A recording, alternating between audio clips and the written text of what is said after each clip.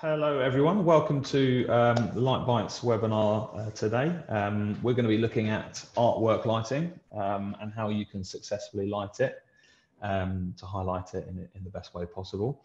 Um, I'm Luke Thomas, Design Director at John Cullen, and joined by Rebecca Crawford, uh, Design Director in the Middle East. Uh, so we're very Hello. excited to have you uh, joining us today for a uh, another exciting topic.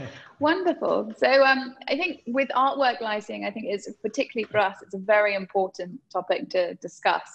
And as anyone that's worked with us before knows that we're quite passionate about making sure that artwork is considered in a space just as much as the architectural elements and the interior furnishings.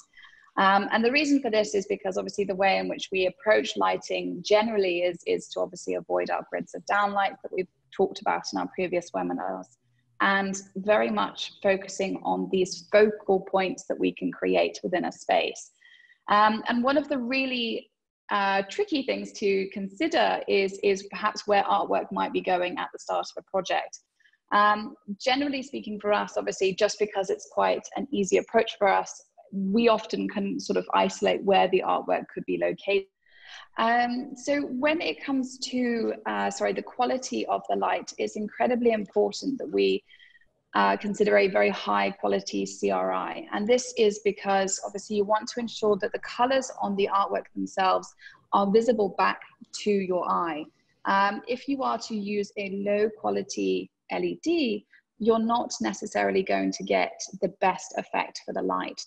Um, now, all of that said, there are multiple different things you also need to consider when it comes to using downlights. Um, with this image here, if we start off very, very simply, it's able to use just a pinpoint of light to really make that whole piece of art um, really, really show up beautifully. And the lovely thing is, is that the texture is considered. So obviously this is created by positioning the downlight in a way that we know that that piece of art is there if we move on to the next image, I think it's important to consider also if it's a multiple select or multiple pieces of art together in one space. Here we've used two downlights and have added in a lens to ensure that you get a soft wash for the entire collection of artwork.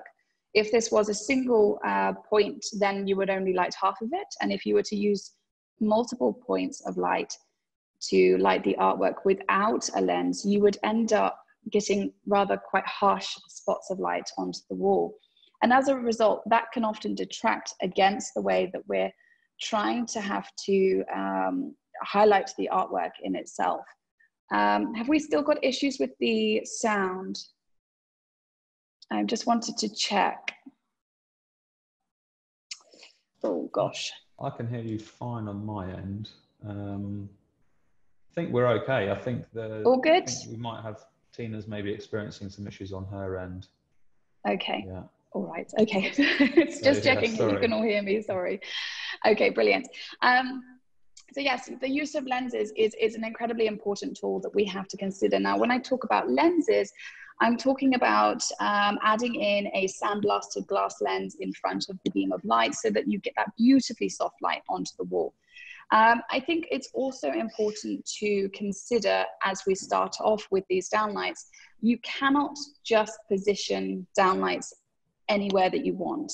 If you've got a wall that you know that you're putting artwork, you have to consider the exact positioning of the downlights based on the height of the wall, based on the amount of art that you might be positioning onto the space, but also how exactly that light itself is angled towards the wall.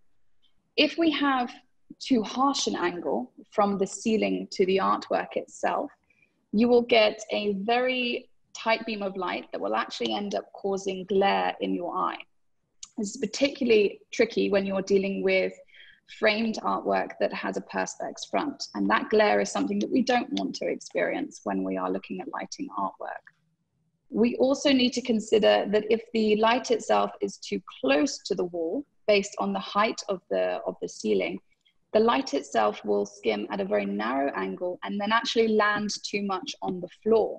And as a result, the focal point will also be reduced from the wall to the floor. Um, and that light spillage is certainly something that we don't want to look at. Um, so it's all very, very um, detailed in the position of the downlight itself. Mm. Um, so it's not just about the choice of it, adding in lenses, it's, it's how exactly you position it. Um, and there is no rule of thumb for positioning a, uh, a downlight in a, in a certain area for you know a size of the artwork. You have to explore all of the parameters. So if we look at the next image, you can see that we've got the downlight positioned in a way that it just lights the piece of art. I think the, the image on the right hand side that you can see, it's just focusing on that artwork.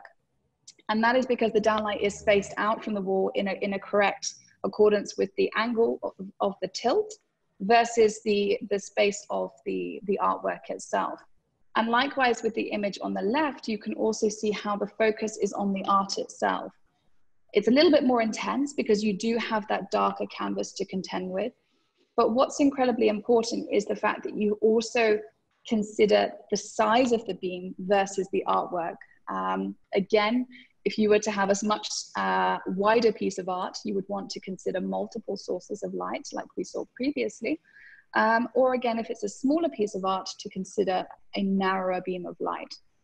Um, if we continue onwards, it's also it's very easy to talk about downlights being positioned in a way that you can pre-plan. Of course, it's going to take time to plan where your artwork is going, so it must be considered just as important as the rest of the architectural elements. Here we knew with this piece, although the piece of art in itself in its entirety is, is the size that you can see with the white background, we knew that the 3D uh, element of this was going to be positioned in this space. So we made the choice to light the 3D element with some cross lighting to really try and pick up the, the movement that you get from that piece. And this mm-hmm. in itself is obviously and making sure that you also consider the spacing of the art, or sorry, the spacing of the downlights in the ceiling. Um, what was quite an interesting dis- sort of discussion point quite often when it comes to artwork lighting is when it's retrofit. Um, we, we have a number of projects where the lighting in place is in either the incorrect position for the artwork or it's the incorrect source of light or beam width uh, for, for the artwork itself. Um, this was an interesting project where the lights previously that you can see lighting the three pieces of art in the center, the three red pieces. Um, the light itself was actually positioned previously in the underside of the stone alcove that you can see there. So if we look on the image on the right, you can see very, very slightly, because it's still in work in progress, uh, you can see where the downlights were actually removed uh, from this point. And we took them out of here because what was happening was because the downlight was positioned so close to the wall, it was barely touching the artwork itself. It was actually skimming down onto the floor and the focus was entirely removed from the artwork itself. Um, so it was incredibly important that we looked at the space, we brought the downlights further out to aim towards the artwork themselves so that they lit the art perfectly. And this is something that we see a lot uh, within our projects, particularly the retrofit uh, and the upgrading projects that we work on and that is that we can have entire rooms that are dedicated to artwork and the art is hung in a way that it is the it is the main feature in the space but the downlights are very often positioned so close to the walls that they have absolutely no um, strength in lighting in lighting the art because of the angles that we're working with so it's very very important that we always consider the angle here and as i said before if it's too narrow, you're always going to skim down onto the floor. And if it's too wide, then the viewer will actually end up getting the glare back into their eye. So one of the things we work with with our fixtures in particularly is using downlights that can tilt to 30 or 35 degrees so that we get that perfect angle onto the artwork.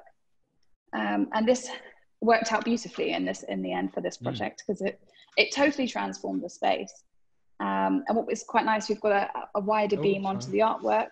Oh, sorry, a wider beam onto the artwork and a narrower beam onto the onto the sculptures on the side.